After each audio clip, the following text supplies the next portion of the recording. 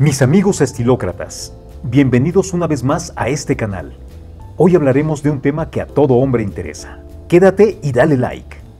Por si no lo sabían, Jordan Peterson es un psicólogo y crítico de la cultura reconocido en todo el mundo.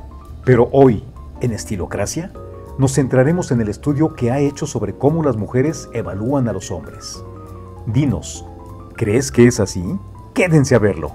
Selectivas. Según algunos estudios, las mujeres son más selectivas que los hombres por un gran margen.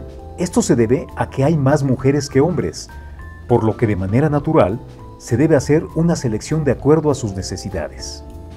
No hay hombre ideal. De un rango de 100% en el que intervienen características, ideales, condiciones, físico, etc., que debe cumplir un hombre en una mujer, estos cubren tan solo el 15%, y varía hasta el 85%, pero nunca el 100%. Los hombres comunes están muy debajo del promedio ideal. ¿Importa el físico?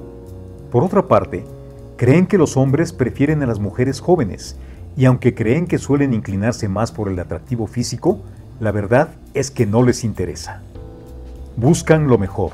Por ello, y siguiendo la postura darwiniana de la naturaleza, creen que la selección sexual juega un papel importante en la evolución humana. Por ello, tratan de elegir a alguien mejor y con más inteligencia.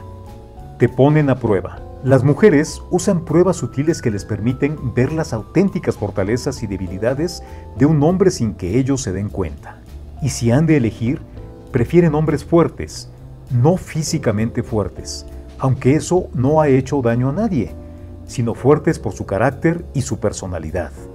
Hay más formas en que las mujeres evalúan a los hombres, pero aquí te presentamos solo algunas. Si te interesa saber más, escríbelo y mantente al pendiente. En momentos posteriores, te diremos otras formas para que estés atento con qué quieren saber o decir.